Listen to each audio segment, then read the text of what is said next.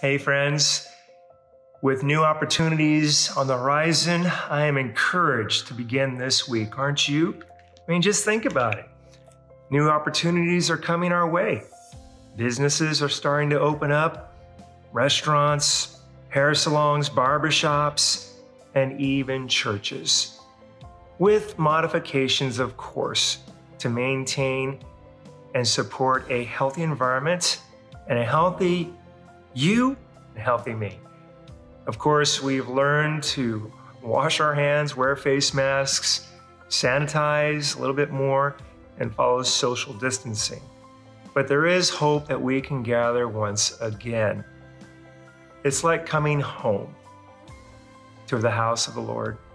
What a day that will be when this pandemic of sin is on its end way. Wouldn't that be awesome? Where we wouldn't be quarantined anymore due to the effects of sin? In fact, it's something to sing about, isn't it?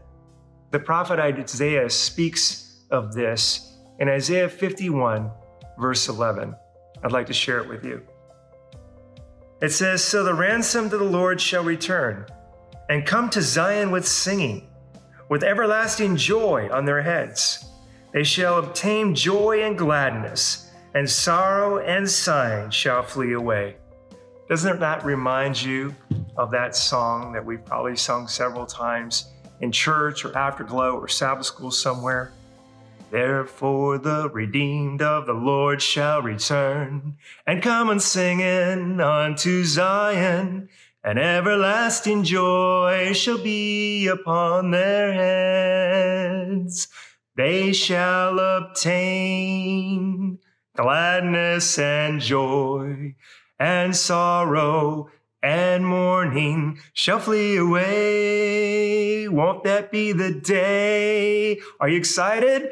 I sure am. I'm looking forward to seeing you, church family, and I'm looking forward to worshiping Jesus with you someday soon.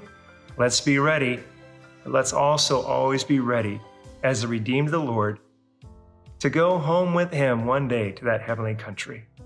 May God bless you today. And may you be singing for joy